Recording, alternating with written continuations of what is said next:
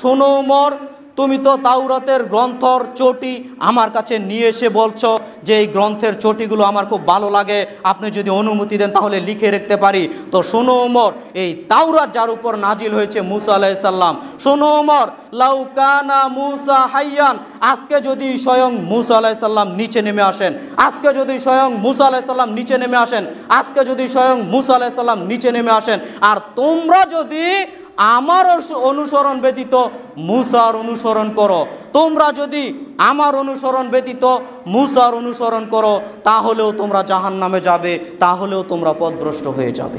নেন এবার। মুসা আলাইসাল্লাম হচ্ছেন আল্লাহর পক্ষ থেকে নবী, আল্লাহর পক্ষ থেকে রাসূল।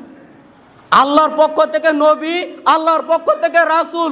ওই মুসা আলাইসাল্লামও যদি আজকে দুনিয়াতে এসে যায়, শোনো ওমর লাউকানা মুসা হাইয়ান, আজকে যদি মুসা আলাইসাল্লাম নিচে নেমে আসে, তাহলে মুসা আলাইসাল্লামের আমার আনুগত্য ছাড়া কোনো গত্যান্তর থাকবে না। আপনার পীর সাহেবের আনুগত্য করা তো বহু দূরের কথা।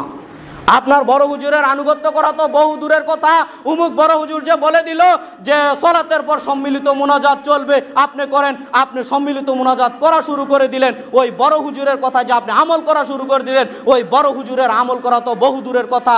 লাউ কানা মুসা হাইয়ান, আজকে যদি স্বয়ং মুসা আলাইসাল্লামও নিচে নেমে আসেন, আপনি মুসা আলাইসাল্লামের আনুগত্য করতে পারবেন না। আর যদি করেন, তাহলে আপনি পথভ্রষ্ট তাহলে আপনি পথভ্রষ্ট তাহলে আপনি পথভ্রষ্ট আপনাকে জাহান নামে যেতে হবে।